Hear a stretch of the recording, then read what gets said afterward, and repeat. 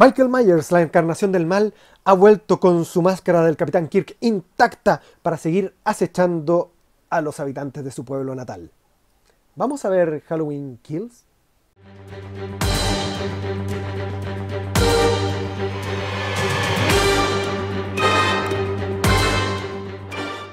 ¿Qué tal amigos de Imperial Reviews? Soy Darce, bienvenidos al review, análisis, opinión de Halloween Kills, película secuela de Halloween 2018 y segunda parte de la trilogía de secuelas de la película original de 1978. Se encuentra dirigida nuevamente por David Gordon Green, quien además la coescribió con Danny McBride, quien repite como guionista junto a Scott Timms, quien se incorpora al equipo en reemplazo de Jeff Fradley. Vuelven Judy Greer y Andy Matichak para sus roles como la hija y la nieta de Lori, respectivamente, ¿verdad? Y se agregan nuevos personajes, algunos de los cuales serán una sorpresa para quienes son seguidores de la franquicia. Halloween Kills es una película que no va a dejar indiferente ni a los fanáticos del género slasher, ni a los fans de Michael Myers. Y las opiniones estarán divididas como ya ha estado ocurriendo en las distintas redes sociales. Y a continuación paso a explicarles por qué y de paso les doy mi opinión al respecto. La película nos presenta los eventos que siguen directamente después del final de la película Halloween 2018, lidiando con las consecuencias del enfrentamiento de la familia de Lori Strode con Michael Myers, tanto psicológicas como físicas, y además del hecho de enterarse de que la trampa que le han tendido no ha sido eficaz y él ha sobrevivido. Dentro de la historia hay elementos interesantes, hay decisiones que son audaces y que nos llevan incluso directamente, en una línea directa, hacia la película original de 1978. Sin embargo, creo que Halloween Kills carece del balance, cuando hablamos de eh, guion o de desarrollo de la historia, que tenía Halloween 2018. De tal manera que estos elementos que son interesantes, estas decisiones que son audaces, muchas veces quedan planteados pero son desarrollados en forma incompleta o de manera muy superficial. Uno de los elementos interesantes que toma la película es el efecto que tiene en la comunidad el hecho de saberse asolada por esta encarnación del mal, de saber que este asesino serial que estuvo acechándolos en el pasado ha vuelto, ha regresado y que esta vez deben organizarse para hacerle frente.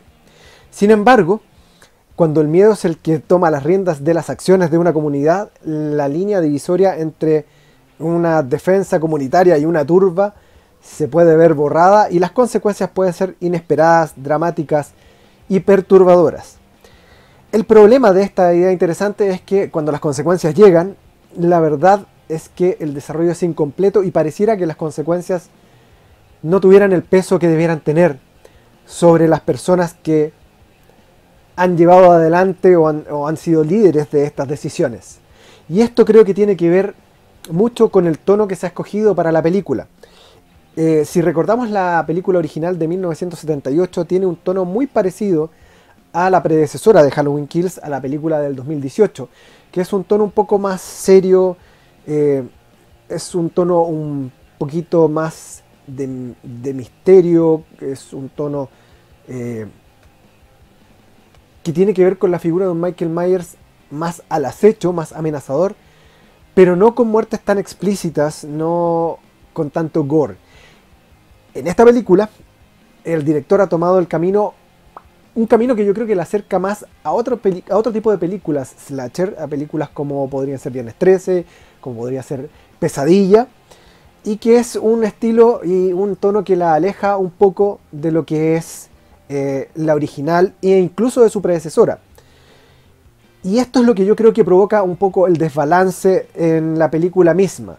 La película es muy divertida, es una película muy entretenida, es una película para esta época del año, para verla en Halloween, pasarlo bien con tus amigos, eh, tiene mucho gore, las muertes son muy explícitas, el contador de cadáveres, no sé en cuánto eh, irá, pero creo que debe ser una de las que tiene una cuenta más alta probablemente en la historia de las películas de Slasher y ciertamente por lejos en la historia de esta propia franquicia. Como dije antes, el problema de esto es que las ideas interesantes que son planteadas, ideas que pueden ser planteadas en forma para un desarrollo un poco más profundo, como fue en la primera, que se va más en el desarrollo psicológico del personaje de Laurie aquí son dejadas de lado y no se logra el equilibrio para que cuando la película da un giro nuevamente a volverse más seria, pueda tener o cuajar como corresponde. No hay un, eh, un producto final pulido. Se siente este, estos baches. La película muchas veces va un poquitito, te hace saltar y no, no fluye de forma eh, suave. Y el problema de esto es que terminas, eh, lo pasas muy bien, pero terminas sintiendo que hay escenas que perfectamente le agregan metraje a la película y que no debieran estar ahí. Están agregadas solamente en muchas ocasiones para subirle la cuenta al contador de cadáveres. En cuanto al personaje de Michael Myers, me parece que David Gordon Green y su equipo de escritores entienden bastante bien al personaje. Creo que está bien tratado. Eh, aparece implacable, sanguinario, imparable. Y vas a ver distintas técnicas y distintas formas de dar cuenta de sus víctimas, algunas claramente homenaje a lo que es Halloween de 1978. Mucho más matanzas que en la película anterior, mucho más eh, gore como ya lo dije, pero creo que el personaje en su esencia está bien tratado y comprenden que Michael Myers es una fuerza de la naturaleza, esta encarnación del mar, pure evil como dice el doctor Loomis en eso creo que la película cumple y está muy bien y los fanáticos de Michael Myers, los fanáticos del género slasher, van a quedar satisfechos. En donde sí creo que van a estar de acuerdo tanto detractores como defensores de esta cinta, va a ser en el personaje, en el trato que se le ha dado al personaje de eh, Lori Strode, el personaje de Jamie Lee Curtis. Un personaje que en esta película ha sido dejado un poco de lado, ocupa un papel mucho más secundario que en la entrega anterior, en donde carga con el peso de la historia. Y ese peso aquí se reparte en distintos personajes. Cuando el peso recae en el personaje de Andy Matichak o de Judy Greer, que son tanto la nieta como la hija de Lori Strode, creo que la película anda bastante bien y es, eh, bastante fluida. Pero cuando ese peso recae sobre los personajes eh, secundarios, que han traído los personajes nuevos que han, llegado a, esta película, creo que no dan la talla y no son capaces de eh, llevar esa historia hacia adelante de una manera convincente. De hecho, hay algunos de esos personajes que son bastante interesantes, que también hay planteamientos que son eh, bastante audaces, ideas que son buenas ideas, pero que quedan a medio desarrollar justamente en el afán, como ya lo dije antes, de eh, subirle el tono un poco al gore, te da, es, eso te da un tono un poco más de película slasher, un poco más distanciada, como ya lo dije, de lo que es la Halloween clásica, y por lo tanto te disminuye la posibilidad de poder profundizar en estas ideas. Creo que haber eh, dejado en forma secundaria o en un papel un poco más secundario al personaje de Laurie Strode es un error es Jamie Lee Curtis, es parte del rol protagónico de la película original y creo que si el guion era un problema, el guion debió haber sido cambiado, debió haber sido adaptado para poder aprovechar mejor ese personaje que, en el cual se invirtió bastante además en la primera película, en Halloween 2018, y creo que lo lograron bastante bien. Creo que es una película que está casi al nivel de la original de 1978. Aquí estamos algunos peldaños por debajo, y creo que, repito, ha sido un error y eso creo que es algo que van de lo que van a resentir tanto defensores como detractores de esta película. Creo que en eso sí van a estar de acuerdo. La música, la fotografía, la ambientación de la película realmente está muy bien, sobre todo cuando se hace estos eh, links, estas líneas, estos guiños, estas referencias a la película original de 1978 y creo que son los mejores pasajes de Halloween Kills cuando sigue un poco más el tono de lo que era la primera entrega. Eso se pierde un poco cuando se toma más lo que es el género slasher más clásico, como decía yo, eh, que tiene elementos que son reconocibles del género y de los cuales están bien eh, en cuanto a las decisiones que toman los personajes, las características que tienen, eh, el tipo de muertes, etc. Pero vuelvo a repetir, es esta mezcla que no logra ser balanceada, lo que hace que la película finalmente te deje un sabor de boca no del todo agradable cuando termina.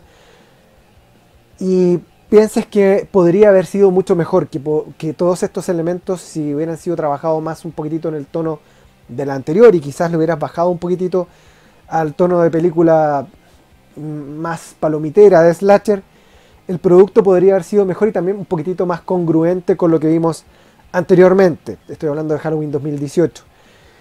Ya está filmada a estas alturas Halloween, Halloween's End, que es la tercera parte y final.